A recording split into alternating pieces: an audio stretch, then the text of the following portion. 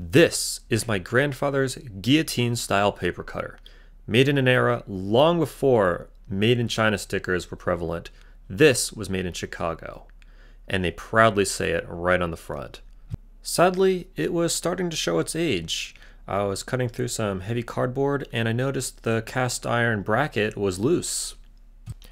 My favorite thing with old tools is just how easy they are to take apart and work on that's probably how I got interested in how things work because I could take it apart and put them back together.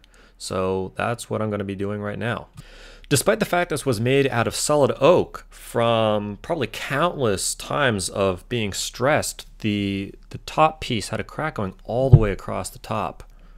Now luckily this is a really easy fix. All I have to do is stick some wood glue back in the crack and after I clamp it and let it sit overnight, I'll have I'll have it working just as good as it was new.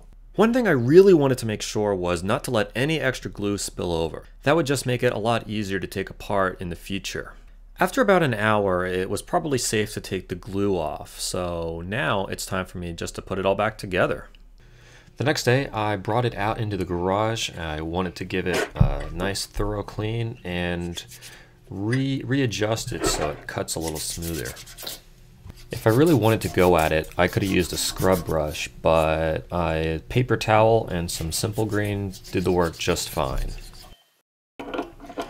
This is a pretty simple design. This big spring adjusts the rebound of the blade, so it will rise up automatically for the next cut, just like this. Lastly, I wanted to be able to hold the blade down for storage.